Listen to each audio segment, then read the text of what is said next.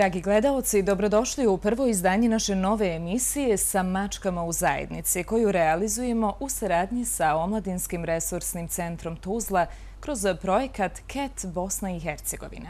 Neka vas ne zbuni sami naziv emisije jer šta nam u ovom društvenom segmentu predstavljaju mačke? Mladi okupljeni oko projekta CAT, Citizens Against Terrorism, ili Građani protiv terorizma, kao zaštitni znak projekta koriste dvije crne mačke koje u svijet šalju različite poruke, među kojima je razumijevanje važnosti uključivanja mladih u procese izgradnje mira.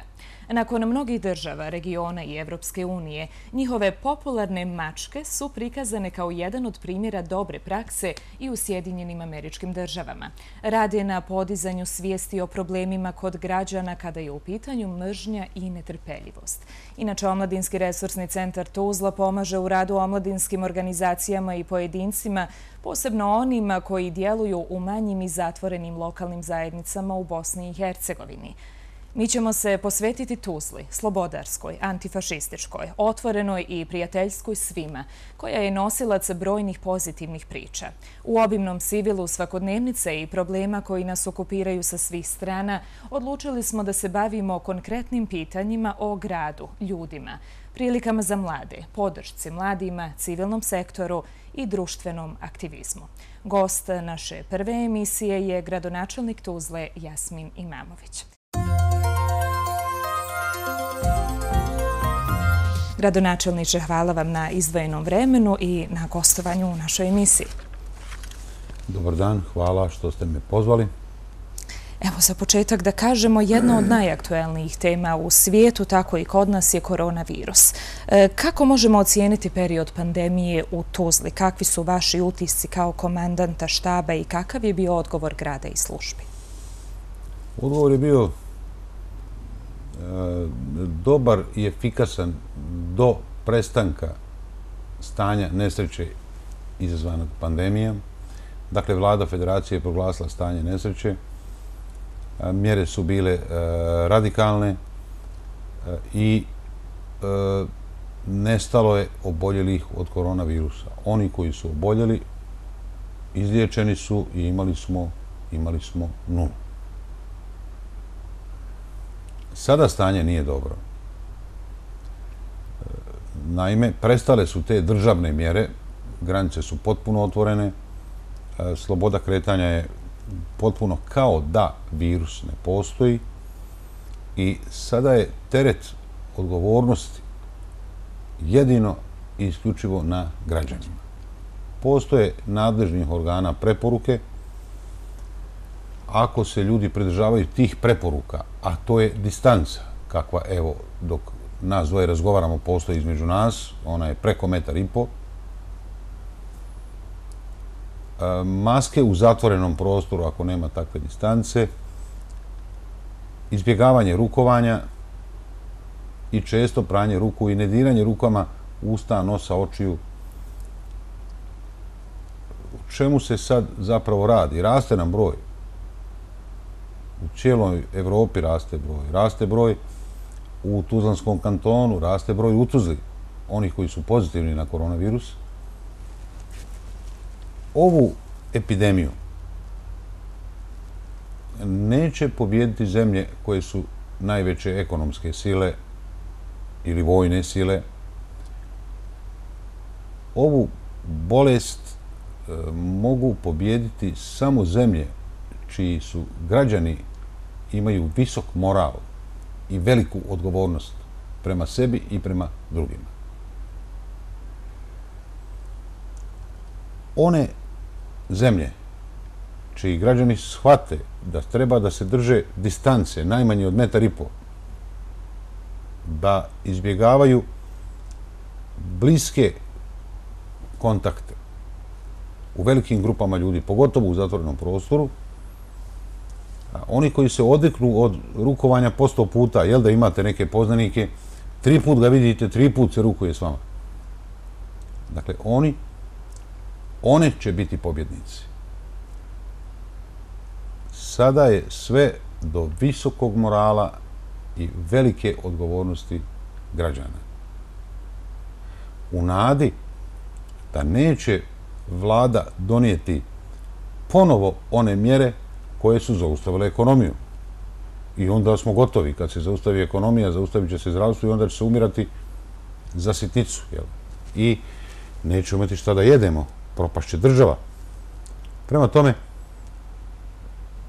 ovo je najteži moment kada ne možeš upravljati procesom, onda se moglo na osnovu onih naredaba. Mi smo se onda snašli i pružali pomoć građanima, upravili krizom. Ovo je sada otvorene granice, ljudi dolaze sa svih strana svijeta, sve do odgovornosti svakoga od nas. Distanca, pranje ruku, izbjegavanje okupljanja većeg broja ljudi u zatvorenom prostoru. Kada je vama kao komandantu bilo najteže u uopšteno-gradskim službama? Je li sada najteže? Da. Meni kao komandantu štaba, a komandant štaba sam bio u vremenu nesreće, nije bilo teško, po prirodi sam borben čovjek. Nije mi bilo teško da radim non stop, ali kao oružje sam imao mjere države viših nivoa vlasti i imali smo i mi svoje mjere. Neprekidna dezinfekcija ulica, zgrada, objekata i tako dalje. Ali sad je najteže. Sad nemam na raspolaganju nikakve mjere u zaustavljanju zaraze, osim redovno e, pranje ulica, dezinfekcije, e, mjere unutar zgrada, sada je glavna mjera da svaki čovjek misli o sebi, da čuvanjem distance u razgovoru on štiti sebe i drugoga od sebe. Koliko su se građani možda i pridržavali evo ovih mjera dok su bile? Sada su nam ponovo opet nekako ljudi drugačije reaguju kada imaju zabrane i kada imaju samo preporučene mjere. Pridržavali se, bio policijski sad, nije bio moguć kontakt. Mhm. E, ja sad ne preporučujem e, takve mjere, ja sad samo preporučujem e, dakle, da se mi u svakodnevnom životu shvatimo da se nećemo riječiti ovoga virusa brzo i da brzo mijenjamo navike u pogledu rukovanja, grljenja, e, u pogledu razmaka jednih od drugih, dok se ne pronađe vakcina. A možda nam i ostanu ove navike kasnije? Ne vjerujem. Ne vjerujem da će ostati te navike, jer jednostavno e, mi moramo e, tog virusa pobjediti. Mi ga moramo ubiti ili će on nas. Mhm.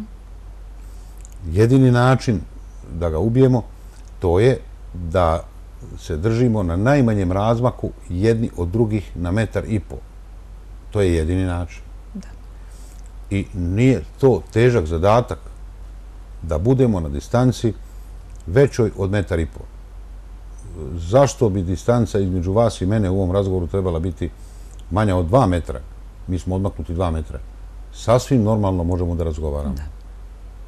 Idemo sada na malo ljepšu temu. Da. E, među novim vijestima, evo jeste da nam od početka počinje, od petka počinje ljetna sezona na Panonskim jezerima u Tuzli, koja su jedan od veoma značajnih segmenata turizma, ponude u gradu, ali i zapošljavanja, kako stalnog, tako i sezonskog za mlade. Evo šta znači zapravo to za mlade, koliko se zapošljavaju i kakvi su planovi Panonike za budućnost? Vidite, savremeni urbanizam, savremena tendencije gradova, imate Alborsku konvenciju, tri su stvari najvažnije. Ekonomski održiv razvoj, kvalitet života građana i uključenost građana. Dakle, najvažnije je kvalitet života građana. To je najvažnije. Šta imate od života? Evo, ako ste ekonomski održivi, imate posao. I spavate 8 sati. Ostaje vam ona treća osmica. Šta ćete vi kad je navečer 35-40 stepeni, u toku dana 35-40 stepeni. Ja se uvijek sjetim, odem ja počestvo tamo na plivanje na Panoniku i zovu me neki mladi ljudi tineđerske dobi. E, četiri mladića i jedna djevojka. Da li bi ja s njima popio kafu? Sjede u Meduzi, pored drugog slanog jezera. Hoću. Hvala. I sad oni nju, kao se ona, malo se ustručava, ali oni je nešto zafrkavaju. I onda kažu, kaži gradonačelniku šta si rekla nama. I ona onda mene pita, šta bismo mi danas, kad je 35 stepeni, gdje bismo mi danas u ovo doba dana, da nije slanih jezera? Evo, ovdje smo svi jednaki u kupačim kostimima. Evo ovdje svi možemo popiti kafu u Meduzi. Šta bismo danas? Sjedli bismo u četiri zida ili u nekom haustoru, u nekoj debeloj hladovini, ali i tu ne možeš vječno, vječno da sjediš. Odnosi se na mlade. Jer moja sjećanja iz mladosti, najljepša sjećanja, uvijek su vezana za plaže. E, kad sam pisao roman Obožavatelj trena, najviše mojih lijepih sjećanja je vezano za Jadransku obalu, a tamo sam boravio 15 dana u godini. I to za plaže na Jadranu. Ili je Zaostrog, ili je Makarska, ili je da li nabrajamo sad sva ta mhm. mjesta. E, zašto e, ja ne bih omogućio djeci Tuzle i gostima Tuzle da lijepa sjećanja ponesu iz Tuzle sa plaže u centru grada, sa plaže Panonskih jezera. Dakle, to je jako važno. Jako je važno i za ove male skroz od godinu, dvije, tri. Jer zdrava je voda, zdravo je sunce, boravak na otvorenom, voda je ljekovita i dobra za kostobolju. Ne želim da u gradu budu dominantni neplivači, želim da budu dominantni plivači. Ne želim da ovi mladi ljudi, kao što sam ja, moraju negdje da otputuju da bi zaplivali, da bi došli na neku plažu. Želim naprosto e, da im život bude kvalitetniji, da budu svoji i da budu gostoljubivi svim gostima koji dođu da im to bude dobro. Dakle, kvalitet života. I taj smo cilj ostvarili jer kvalitet života u Tuzli, zahvaljujući slanim jezerima i svemu onome što je nastalo oko slanih jezera, je toliki da dolaze ljudi ovdje na godišnji odmor. Jeste, dolaze sa svih strana. Jako je važno ne samo za mlade, nego za stare. E, oni su išli nekada kad su bili mlađi na more svake godine, sad ne mogu. Nekada su i penzioneri bili bogati, znate. Sad penzioneri imaju male plate. E, dalje, i da imaju pare, valja otići daleko od kliničkog centra, a ima neku hroničnu bolest, da mu je da bude blizu doma zdravlja i kliničkog centra. Prema tome, hoćemo penzionerima da učinimo život maksimalno kvalitetnim, jer i onako su mu godine ugrozile kvalitet života i zdravlje. Dakle, prvo je kvalitet života. E sad idemo na ono, kažemo, kvalitet života, ekonomski održiv razvoj. Ekonomski održiv razvoj. Pazite, e, neki dan mi je jedan građevinski investitor rekao koji pravi ove zgrade blizu slanih jezera, da 60% tih zgrada su napravila Panonska jezera. Jer ljudi e, kupuju tu jednosobne stanove i iznajmljuju ih stan na dan. A onda pogledajte koliko je umeđu vremenu nastalo hostela, motela i hotela, uključujući i Melain ili ovaj najavljeni Kristaliko, nevjerovatna 40 spratova visina i tako dalje. Tako da su, je to bila tačka preokreta u Tuzli. Uvijek nama gurnu neku industriju koju neće niko u svojoj blizini. Pa je bilo i hak da se otruje zrak, pa je bilo težak posao od termoelektrane aerozagađenje, pa je bilo zagovaranja da bude iz potuzle najveće skladište plina u Evropi, još i to. E, pa da neka naprave to kod sebe, a daj da i mi malo živimo. Da i mi malo živimo kvalitetnijim životom od onoga e, kakva, kakva imaju stanovnici kod nekih teških i prljavih industrija, dakle, koje stvaraju zagađenje. Tako da je došlo tu do preokreta. Mi kad smo napravili prvo, drugo slano jezero, kako ćeš sad pozvat goste, šta će im pokazat? Odmah smo napravili i Sojence i Soni trg kao turistički trg. Počeli odživati istorijsku jezgu. Pa onda Ne može ona cesta biti kriva, daj da ispravimo. Pa kako ćemo, dolaze nam gosti, nema vode, redukcije vode. Pa 2006. ukidamo redukcije vode. I onda dajemo optimizam gradu za ustavljanjem tonjenja Tuzle. I onda kreću, kad se zaustavilo tonjenje, vrlo ozbiljne investicije. Tu administracija mora biti brza, jaka, da brže ovaj, da, da se ispoštuje zakon, a da se dodjeli odobrenje za građenje. I Tuzla je preporođen grad, e, preporođen grad, e, turistički, trg Slobode je turistički trg. Jeste vidjeli koliki je to trg? To je najveći trg u Bosni i Hercegovini. A uvijek je pun u vremenu kada nije kiša, jeli? Pogotovo u vremenu e, kasnog proljeća, ljeta i rane, rane jeseni. Dakle, došlo je do razvoja hotelijerstva, ugostiteljstva, trgovine, svih popratnih grana. Događa se čudo da naše samoposluge obaraju rekorde u prodaji kupači kostima i krema za sunčanje.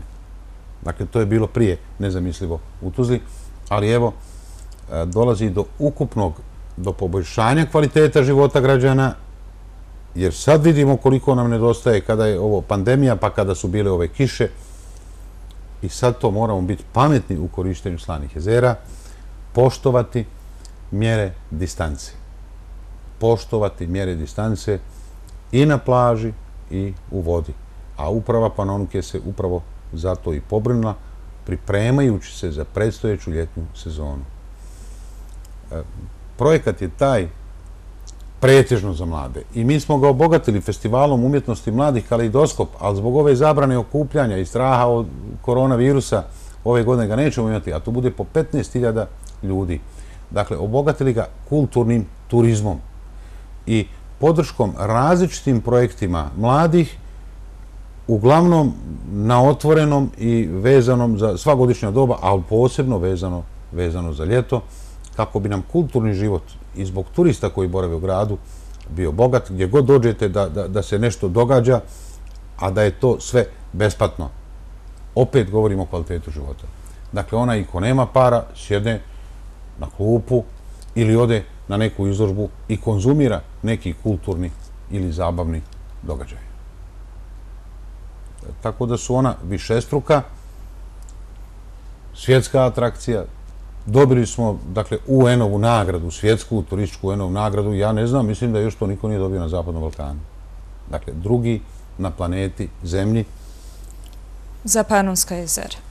Po inovativnom korištenju prirodnog nasljeđa u funkciji razvoja turizma. A naše prirodno nasljeđe je slana voda. I idemo dalje u tom pravcu, kad nešto ide dobro, to treba nastaviti, ne zaustaviti, nego stalno unapriživati. Možemo li reći da li e, postoji želja za dodatnom digitalizacijom u gradu? Ima li riječi o elektronskom vađenju i dobijanju dokumenta? Pa mi smo dosta uradili na digitalizaciji. Kad je u pitanju katastar, kad su u pitanju e, građanska stanja u općoj upravi, kad je u pitanju e, praćenje razvoja predmeta, postoje neki zakonom propisani rokovi kad vi neki predmet morate riješiti kad je u pitanju upravljanje. Kod vađenja dokumenta nam je problem e, što mora za strategiju digitalizacije da donese država i da nam se donesu zakoni koji će nam omogućiti recimo elektronski potpis. Sad to ne može. Dakle, radimo neprekidno na informatizaciji i digitalizaciji, ali u okvirima zakona limitirani smo, još nemamo zakone kao što imaju neke evropske zemlje e, koje vam stvore pravni ambijent kojem stvore uslove da odete sa digitalizacijom do kraja, da ono sve može od kuće.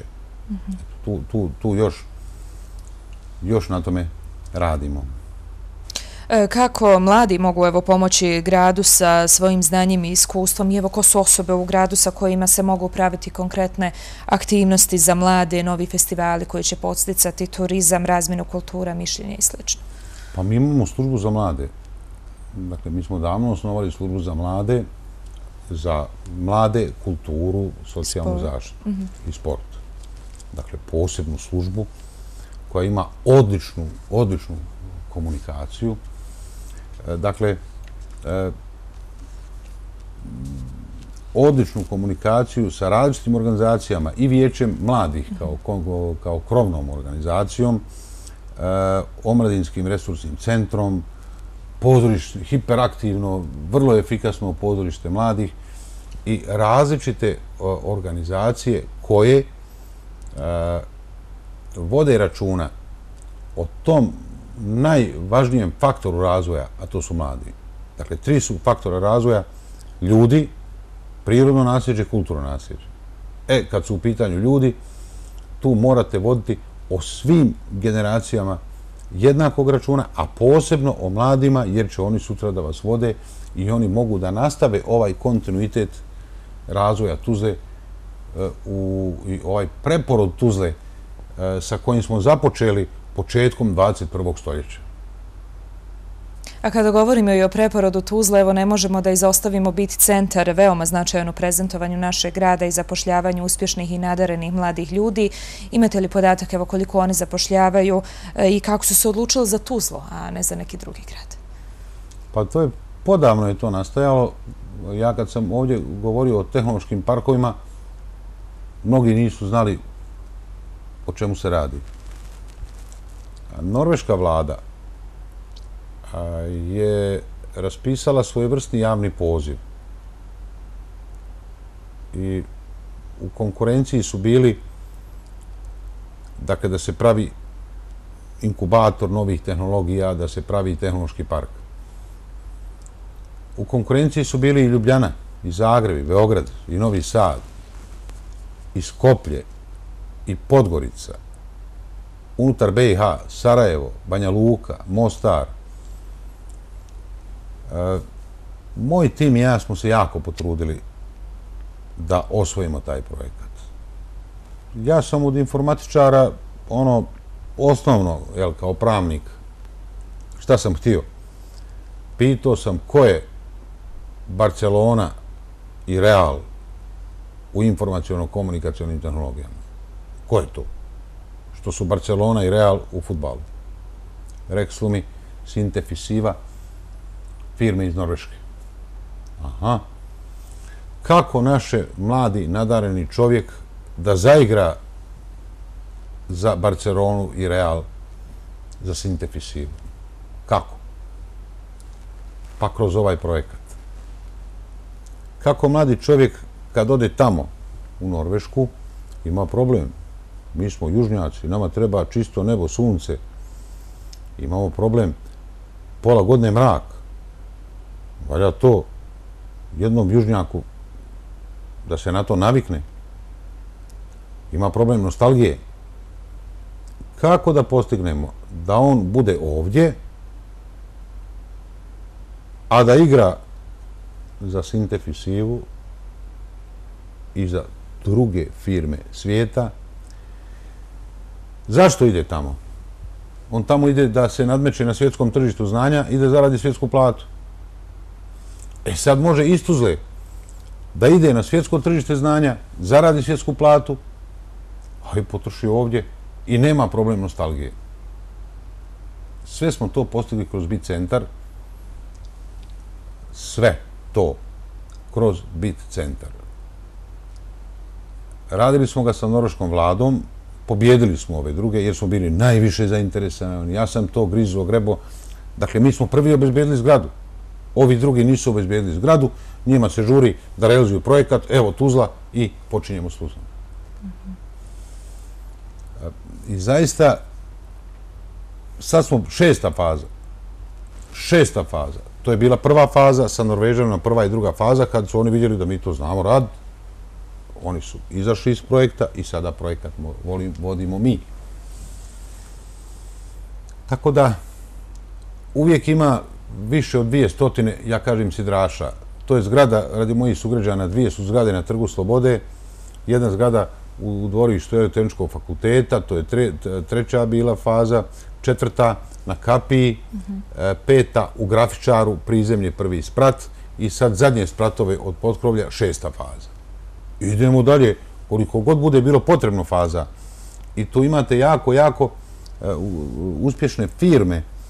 E, dakle, E, koje proizvode softvere i po 95% je izvoz, e, rade za tržište cijele planete Zemlje i pobjeđuju na tenderima u cijelome svijetu. Prošlo je uvijek je 200 sidraša, radi na principu inkubatora, jel? Prošlo je 2500. Vi danas imate preko 2500 ljudi koji se bave u proizvodnjom softvera, uglavnom za izvoz za američko tržište, čak i za japansko tržište. I da ne govorimo ovdje po Evropi. I sad kad vi imate imidž i imate dovoljno imidž grada koji zna šta su tehnološki parkovi, koji ima najbolji tehnološki park sigurno na Zapadnom Balkanu, onda vam tu dolaze razne firme, vidjeli ste, tu je svakoga dana veći Virgin Pulse američki, velika poznata firma, mi ovdje stvaramo takve uvjete, želimo što više takvih firmi i želimo da budemo grad koji prodaje pamet. To je prodaje pameti. Proizvodnja softvera, ovdje si, zaradiš pare na bilo kojem kontinentu i ovdje živiš i ovdje te pare trošiš, a mi, a mi ne ostajemo bez e, te dragoćene populacije za nastavak razvoja Tuzle. Možemo li reći da možemo očekivati dakle, slične kompanije u budućnosti, nova radna mjesta? Stalno se osnivaju nove. Mhm. Stalno se osnivaju nove e, kompanije u budućnosti i mi opet se tiče ovo mladih. E, mi dajemo poticaj za siguran start. Mi dajemo poticaj za svako zanimanje. Mi pričamo sad o informacijono-komunikacijnim tehnologijama, pa ko se u to ne razumije, za njega je to ono, pa ima li šta za još nekog drugog. Ima i za obučare, ima i za krojače, i za stolare. Dakle, mi dajemo stipendije deficitarnim zanimanjima koja nam prijavi privreda, metalostrugari, kožari, šivači, obučari. I mi ih već dok su u školi srednjoj stipendiramo, a oni praksu rade u firmi u kojoj će odma preći na posao čim završi školu, a dobija stipendiju, jer su to deficitarna zanimanja. I ti majstori su nam neprocijenjivi. Neprocijenjivi. Samim time se dakle radi i na načinima kako da se pomogne mladima u pokretanju prvog posla. Ima tu različitih projekata. Jeste, imamo projekat Siguran mhm. start, imamo projekat podrške, vi imate neku dobru ideju i 100% će vas nervirati to računovodstvo. Da je vama odmah da krenete rad, ali morate tamo završavati knjige. Ili ćete imati neki informatički problem, neće, ne znate dobro i malo, malo, kompjuter vas nešto pita, šta ću sad? Blokira, ne možete raditi. E, da platite takve usluge, ili računovodstvene, ili otklanjanja tih, to nisu kvarovi, to je čisto neznanje, jel? Ali eto, i ako budu kvarovi, mi dajemo takve vrste poticaja i to je naš projekat Siguran start. Da on se oslobodi dok ne navježba, oslobodi svega i radi na svojoj ideji, pa kad ovo navježba, onda mu ne treba, to se odnosi na, dakle, na siguran start. Mi im dajemo e, poticaj, recimo, gradnje, da, da on e, vidjeli ste prije, samo piše po objektima izdaje se. On smislio da, da, da, da kupi zemlju, da napravi halu i da sad će on nekom iznajmljivati, a taj neko neće. Ušao je u veliki rizik. Mi sad kažemo da neko ko već ima gotov projekat, a problem mu je prostora, može od nas dobiti zemlju, govorimo kreka sjever, može od nas dobiti zemlju dugoročno pod zakup, a nek sebi napravi halu. I opet, poslije ne znam koliko, na 40 godina, i poslije toga ima preče pravo zakupa. Imamo sljedeću varijantu, ovo što je inkubator novih tehnologija, bit centar, imamo u Lipnici inkubator, e, mhm. dakle, klasičnih proizvodnji RPC Lipnica, gdje isto tako je inkubator, uđe pile, kad razvije proizvodnju, razvije tržište, on onda ide i sam sebi tamo pravi halu, jer je posto koka koja nosi zlatna jaja isto na principu inkubatora. Mlade zanima i može li se u gradskoj upravi uvesti stažiranje za mlade ekonomiste, pravnike i slično kako bi im se omogućio pripravnički polaganje državnog ispita? To ima ili tako slično u gradskoj upravi? Ja uvijek govorim e, da je važna snaga kontinuiteta. Dakle, mi to imamo deset godina, pa bar je dvijesta. Volonterski staž odradi kao volonter e, sa visokom školom, plati mu se topli obrok i prevoz, ostalo se ne plaća, zato se zove volonterski mhm. staž, ali onda stiče pravo na polaganje stručnog ispita i ono što je meni tu najvažnije, e, dakle, da iz, kad je diplomirala, diplomirao iz svijeta nezaposlenih, uđe u svijet zaposlenih. I onda će se snaći. Mnogi prije isteka volonterskog staža dobiju neko radno mjesto i odu u neku firmu, tamo se negdje ovaj, zaposle. I šta možemo reći, evo nekako jednoj od aktuelnih e, tema, izbori, koja je uloga mladih e, i kako se oni mogu izboriti za veći fokus? Teška su vremena i e, trebaju biti, svi moramo biti pametni. Dakle, vjerujte rezultatima, a ne praznim riječima. Ima ljudi lijepo govore. I lijepo ga slušati. Ali pitaj ga šta si majstore ti uradio za ovu državu i za ovaj konkretni grad. Šta si uradio korisno u životu. Dakle, treba da biste nekome vjerovali, vi morate znati njegovu biografiju. Ako su njegovi rezultati prije dobri i ako prije nikada nije ničije povjerenje iznevjerio, onda je to osoba koja se može vjerovati. Ali ako nekoga ne poznajete, onda je to onda je to kinder jaje. Ne zna se kad otvori, hoće biti ona, koja će biti figurica.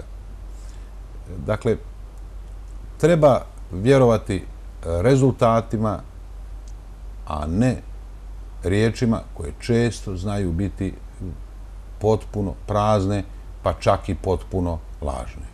Uloga mladih? Uloga mladih je tu odlučujuća. E, mislim da treba više da se angažuju u, u, u politici, da ih jako zanima, jer se o njihovoj budućnosti radi.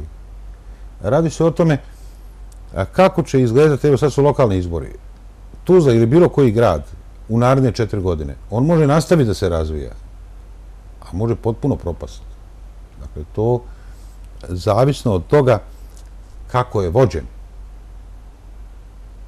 I zato je veoma odgovoran, odgovorno razmisliti o tome kakvu politiku podržati, za koga glasati, jer kajanja mogu biti e, dugotrajna za slučaj greške. I šteta može biti kolektivna za slučaj grešaka. Uzmete recimo neku neznalicu ko nema blage veze o tome, osim što onako voli sebe. Jel? Šta ćemo onda? Dakle, moramo znati e,